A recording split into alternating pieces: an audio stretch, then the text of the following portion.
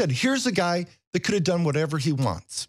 I could, he could go to his island. He could go to us. He, he's got property everywhere, very well set up. But this is what he decided. This is important to him. He wants to expose the corruption, the demonic elite that is really I know having dinner with him and breakfast and stuff with his wife, they are really focused. They're really serious. Uh, very, very serious, very serious. And, and he's uh, helped inform Governor Abbott and stuff? Absolutely. He has sat down with... Um, all of them, basically. Pretty much all of them. And, um, you know, those are those are his his inside baseball that, I, yeah. that I wasn't part of, so I don't know exactly what was. Well, he, he, was just telling me that a lot of people are awake now. Yeah, which which I pick up on as well, talking to folks. whole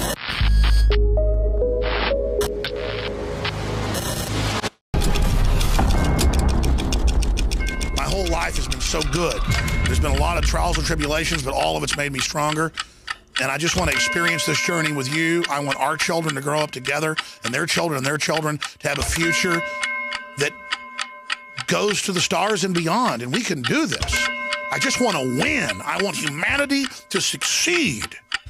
And I'm so sick of people that don't like humanity. humanity. humanity. So I get wound up because I, it's fight and flight, and there's nowhere to run. So I'm like a raccoon in the garage somebody's about to kill, man. I don't have a choice. I'm to fight. I'm going to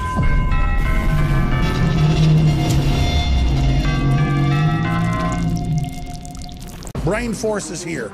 Ladies and gentlemen, I've been on this the last few months. You probably noticed I've been more crazed, more focused, less brain fog, more energy, more special reports, and it's because of Brain Force. One of the worst things with most energy products is it's not sustainable, right? You're going to crash and going to feel really bad afterwards. This has a bunch of different antioxidants and compounds and polyphenols. Everybody's on these drugs to knock their brain out because the brain's so fried. We kept changing this formula over and over and over again until it became sort of a grand puzzle.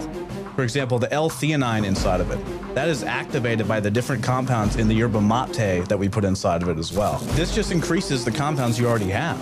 This is what you're actually designed to run on. Exactly. It's kind of like a car will run on one form of junkie gas, but it runs really good on what it's designed for. You will find Brain Force, Survival Shield X2, and other game-changing products at InfoWarsLife.com or call 888-253-3139. Introducing Secret 12, the new InfoWars Life vitamin B12 formulation. Most forms of vitamin B12 are highly processed and synthetic and cannot be properly absorbed by the body. That's why for real results, so many are having to turn to painful B12 injections, which are known to have higher absorption rates. Now, InfoWarsLife.com is excited to announce that we can bring you our most bioactive, powerful form of B12 that has been developed with our exclusive perfected process.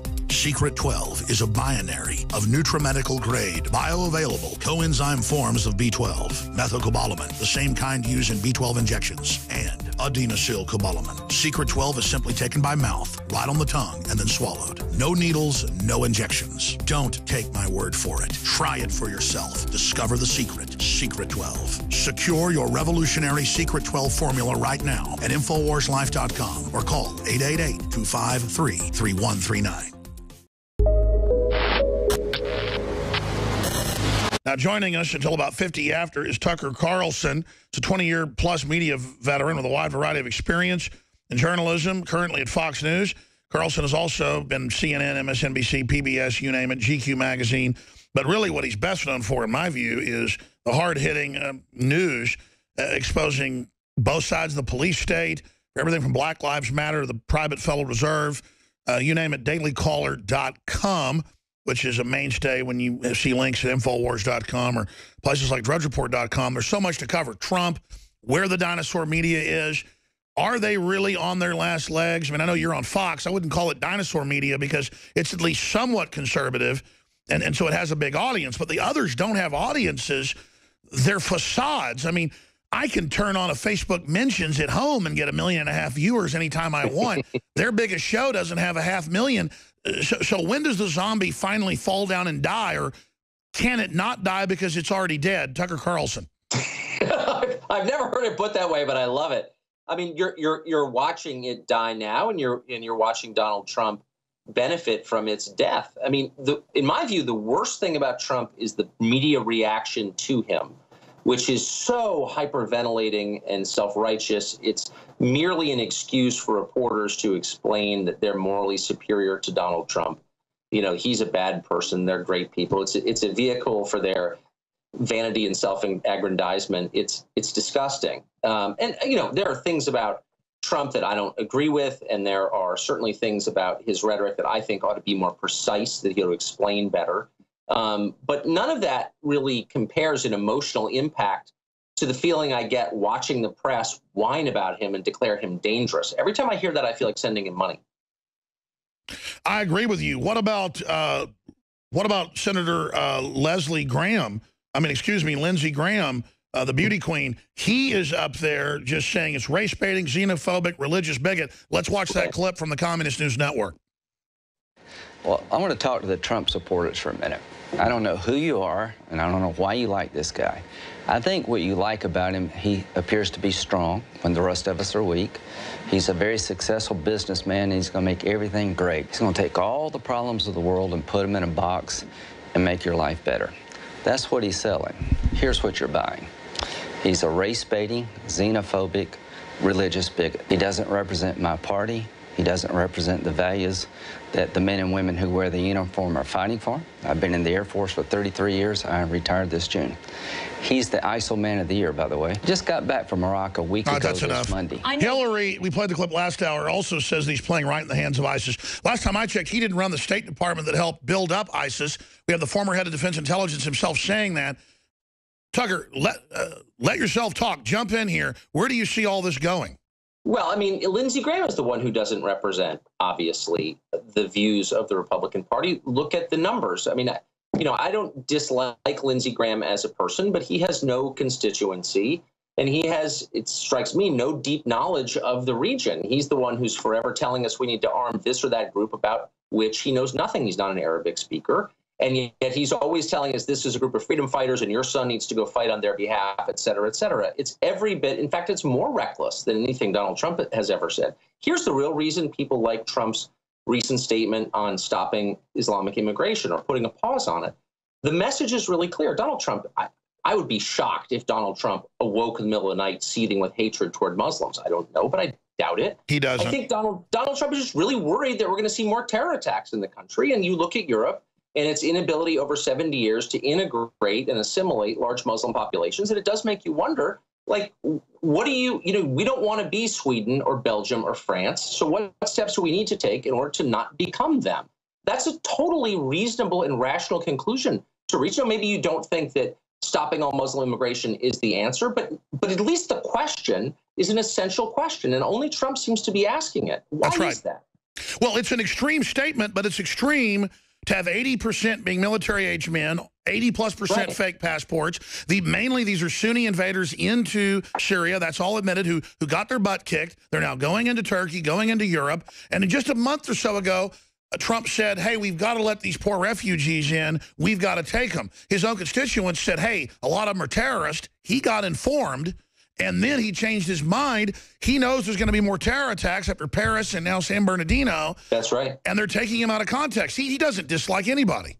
Well, exactly. And again, you have to compare the recklessness of Trump, and sometimes he is reckless, with the recklessness of the people who now run everything. And Lindsey Graham is a perfect representative of that group. Right after the Paris, Paris terror attacks, Lindsey Graham was not only calling for more Syrian immigration into the United States, but saying anyone who opposed it was somehow a nativist or a bigot or a bad person or immoral or on the wrong side of God. Really? I mean, there's no room for debate on this. I mean, ask yourself the question Does any adult really believe that Germany will be improved by a million refugees from Syria and surrounding countries, Pakistan, because they're not just Syrians? I don't think anybody really believes that. And yet, Time magazine just gave Angela Merkel the Person of the Year award, and it is, in fact, an award to congratulate her for doing that. What's the effect of that kind of immigration? It makes the people in power feel virtuous. They get to feel like good people, but they don't have to deal with any of the consequences of it. They don't send their children to public school. They don't.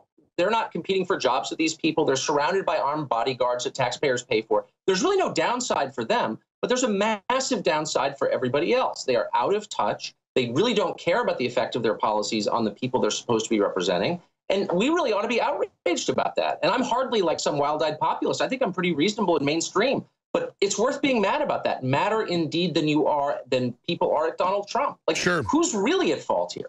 Well, let's take Huma Abedin, who I notice you have a picture behind you uh, of her on your wall with that Ringling Brothers. it actually does look like her, uh, Hillary Clinton's special friend. I don't care if Hillary has special friends. I'm a libertarian like you are. But if this was Trump or a conservative, we know there'd be a spotlight on it. And then her whole background, she seems to just get away with everything. That, I think that also sticks in people's craw that these Democrats and establishment Republicans are above the law. They don't get reviewed. They don't get looked at. And then Hillary's little hippo, uh, she can do whatever she wants and, you know, stay in the same hotel room or whatever. I mean, this should be looked into. And then Drudge and you and others get criticized for investigating Hillary's health, investi uh, investigating her taste in women. I mean, isn't all of this open game? Huma Abedin, let's just assess the public record, okay? That That's enough. I mean, I'm willing to give everyone a pass on their private lives or whatever. Well, why do you have a picture of her on your wall? Sorry, go ahead. It's, it's, from the 40s. It predates even Huma. Uh, she sent out an email two days ago in which she called Donald Trump, quote, a racist for opposing Islamic immigration, as if Islam is a race rather than a religion. It's not a racial ethnic category. That's insane. Now, that is exactly the kind of language, of rhetoric that divides people, that makes people hate each other, that whips the population into a greater frenzy. Again, that's every bit as irresponsible as anything Donald Trump has suggested. And unlike Donald Trump, she's actually in a position of, of power. I mean, Huma Abedin was a was a federal official, a State Department official, up until pretty recently, a, a, a Clinton administration, I mean, a rather an Obama administration official, and yet she can send an email like that out, and nobody cares. You know, it's it's fine. It's just a reaction. He's dangerous. No wonder she's upset. It is all of this. The Trump phenomenon is a reaction against that. And I tell people who are upset. A lot of Republicans in Washington, as you know, are horrified by Trump. They hate him more than they hate Obama. He's a direct threat to their power. And I always say to them, there's a reason he's here, and that's because you have been a bad steward of this party. The president has been a bad steward of the federal government. A lot of the business community have been bad stewards of the economy. The people running things haven't done a very good job, so it shouldn't surprise you that someone like Donald Trump arrives on the scene and gets really popular by telling the truth about your failures. Like, why is that shocking? Tucker Carlson's our guest, Fox News, foxnews.com, dailycaller.com. That's got to be the quote of the last week or so, the most crystallized, boiled down truth, that last 20 seconds. That's it. They don't dislike him because he's a bigot or he's hateful. They hate him because he'll win. He's not part of their power structure. They've been caught working with the Democrats, and he represents the Tea Party, the Libertarians, taking over the grand old party and kicking uh, you know, these weasels out of Toad Hall who have invaded and taken over. and he is a bellwether of that, and they're panicking. What's so funny is they're uh, in a, a, lather this morning about the idea that he might run third party. Here's a newsflash. He already is running third party. He's already broken with Republican orthodoxy on economics. He's attacked the hedge fund people. He's broken with them on foreign policy. He's pointed out the Iraq war was a disaster. That's not allowed, but he did it anyway. He's being attacked by the head of the RNC. He's hated by donors. He's hated by lobbyists. He's hated by the entire Washington establishment and the other candidates. Or some of them say they won't vote for him. He's, so he's incredible. actually not He's not running as a Republican. Here's a newsflash, and maybe that's why he's succeeding.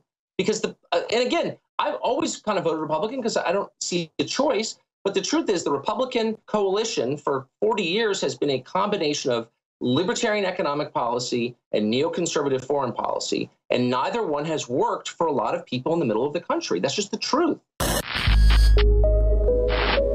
Knockout is back. If you want a product that has 10 known ingredients that naturally get your body to relax, your brain to relax, so you get deep, restful sleep. Knockout's it. Infowarslife.com. L-theanine, hops flower extract, lemon balm extract, valerian root extract, chamomile flower extract, L-tryptophan extract, melatonin, and more. All organic, all the natural sources. It's the same price as leading brands of melatonin that are three milligrams apiece. It has three milligram, the standard recommended dose for an adult. It's got the GABA. So it would probably cost $50 to take all this as separate pills. It's $19.95. You take one or two of these, and it just is really clean, restful sleep is what the reviews are. It's what I've experienced. And it just synergistically puts everything in there. Infowarslife.com. That's Infowarslife.com or call 888 253 3139. You are watching the InfoWars Nightly News, which airs 7 p.m. Central at InfoWarsNews.com. And your support is helping us defend liberty worldwide.